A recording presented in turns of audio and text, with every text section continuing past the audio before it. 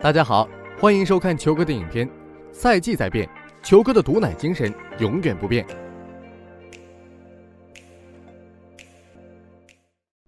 当独行侠连下两城二比零领先快船时，看热闹不嫌事大的球迷们都在期待着他们能在首轮爆冷，上演沉船好戏。但是，随着赛程的推进，快船强势的攻陷两个客场，扳平总分后，所有人都在夸赞着快船上演逆转的好戏。但是，随着至关重要的天王山之战又在主场输球，快船的前景再一次被人看衰。可好在关键时刻，伦纳德和乔治站了出来拯救赛点，并且在抢七大战中上演大翻盘的好戏，最终快船成为大赢家，成功晋级到了西部半决赛，而他们的对手将是西部第一的爵士。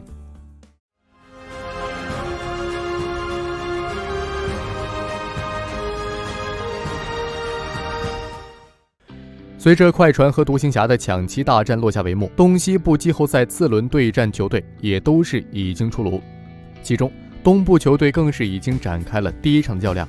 而西部球队还在整装待发备战第一战。那么，成功晋级次轮的快船，在面对联盟常规赛最强球队的对决中，双方谁会更胜一筹呢？首先，我们照旧是先分析下双方的阵容实力对比。众所周知。快船在引进伦纳德和乔治后，他们便是一直保持着双子星的阵容；而爵士在确认米切尔的核心地位后，也是保持着以米切尔和戈贝尔为主体的双核阵容。其中，快船的双子星在攻防两端的表现都是十分优异的。虽然乔治总是会成为对手的背景板，但是我们不可否认他在防守端做出的贡献；而伦纳德则是家喻户晓的防守大闸。反观爵士的双核都是单一化的球员。米切尔虽然在进攻端有着出色能力，但是他在防守端却是一个巨大的漏勺。而戈贝尔虽然在防守端有着出色的能力，连续斩获 DPOY，但是他在进攻端的自主进攻性和能力却是缺失的。而在这种情况下，米切尔防守端的漏洞依靠着戈贝尔补全，戈贝尔在进攻端的表现则是依托着米切尔的传导和引领，因此。爵士的双核就是优势互补，最大化的发挥出各自的长处，而这一点明显是要更优于快船的双子星。毕竟双方位置的重合，使得两人所发挥出的实力并不是一加一大于二，反而很多时候出现了一加一小于二。可以说，这么看的话，爵士双子星要更占据优势。但从实际情况来看，双方的巨星成色却并非如此。由于快船双子星已经磨合了近两个赛季，在惨烈的教训下，双方也是有了更清晰的职能划分。乔治开始出现在控卫位置上掌控比赛，而伦纳德则是在锋线上继续发挥自己所具备的优势。这也让两人在本赛季攻防两端都发挥出色，而非一人断档一人超神。虽然爵士双核也是磨合多年，但是米切尔和戈贝尔这套攻防组合的习惯都已经被人们摸透。两人的挡拆配合虽然威力十足，但是面对上乔治和伦纳德的防守，却是很难发挥出相应的实力。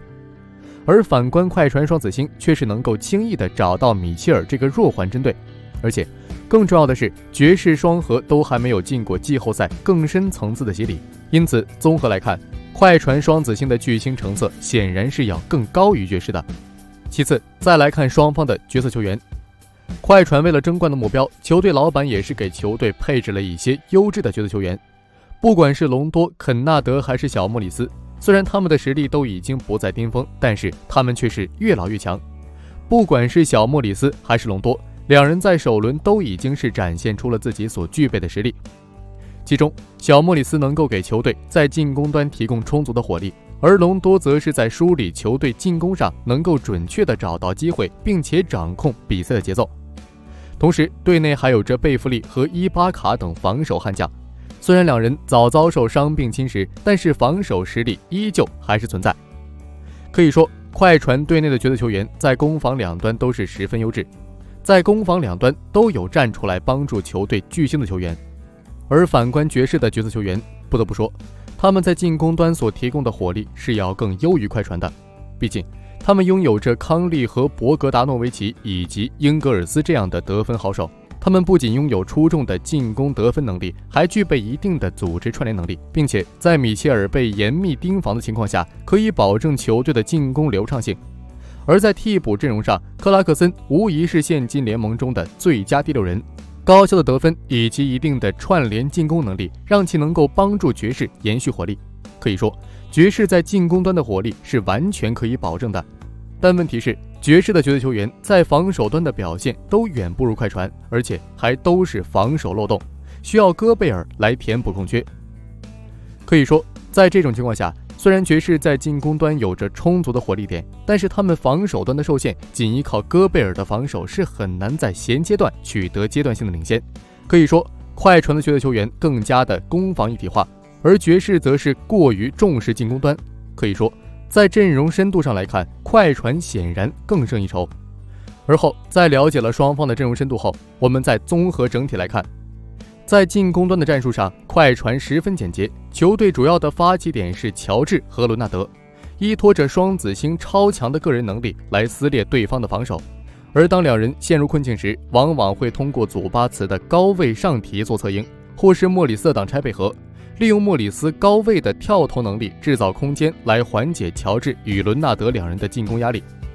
而当陷入焦灼的关键时刻，快船更是会简单的利用伦纳德的强大的个人能力，制造错位的机会去完成进攻。而在绝大多数对位中，伦纳德总能在脚步或力量上找到错位的机会。同时，在与独行侠的对决中，快船更是找到了自己的制胜宝典，那就是五小锋线。此外，在季后赛中，隆多更是成为了快船的胜负手，他能够帮助双子星缓解策应压力的情况，并且。在隆多持球的情况下，乔治与伦纳德便可以转换为无球进攻。在出现机会后，隆多通常都可以第一时间将球传到。而反观爵士在进攻端的战术，爵士在阵容配备上十分合理，有多种进攻搭配方式和选择去进行终结。最为突出的便是米切尔与戈贝尔的组合。米切尔在踏入联盟后便展现出了强大的进攻能力。不仅三分能力出众，并且拥有极佳的身体素质，在突破、启动速度和力量对抗上都拥有一定的优势，使得其在外线具备不小的威胁。尤其在外线进攻时，米切尔十分擅长利用与戈贝尔的挡拆组合，选择直接后撤步远投，还是加速突破大个防守球员进入到禁区。而与其搭配的戈贝尔在进攻端也是威力十足，在禁区内能够通过长臂轻松制霸禁区。此外，在外线虽然投射能力一般，但是具备一定的策应能力。即使没能帮助米切尔直接获得攻击篮筐的机会，也可以通过二次的组织再寻找良机。而后再来对比防守端，爵士在防守端采用伪双塔体系，以戈贝尔为核心，配合其他各位置优秀的防守纪律性，做到了全区域防守无死角。由于戈贝尔机动性强，能护住禁区，也能延伸到中投位置。这使得爵士不必收过多外线兵力到篮下，而现有的锋线团则是速度快、防守好，都重视站位，不赌博超球，更多的追求不失位，不给投篮空档。但是，在面对有着中距离的快船，爵士的防守体系却很难奏效。其次，快船由于多数球员均具备足够出众的防守能力，所以泰伦卢无需把太多的精力放在布置防守体系上。不管是乔治、伦纳德，还是小莫里斯和贝弗利，均能轻松面对挡拆，即使是错位防守，也不会给对手轻松得分的机会。而在一打一上，快船众人的身体素质更是让他们能够轻松应对。因此，虽然在防守端，快船并没有太多战术可以使用和布置，但是依旧能够足够出色的完成防守任务。可以说，综合来看，爵士很难匹配上快船防守，尤其是在锋线上。而快船也很难限制爵士的进攻，也就是说，双方可能会上演一场对攻大战。总的来说，不管快船与爵士这一轮系列赛的胜者是谁，对于爵士来说，这场强强对决便是验证他们本赛季成果的系列赛；而对于快船来说，这场对决是他们突破自我的对决。以上就是本期球学家的全部内容了。如果你喜欢球哥的影片，就请点点订阅。要想看球不糊涂，订阅球哥不含糊。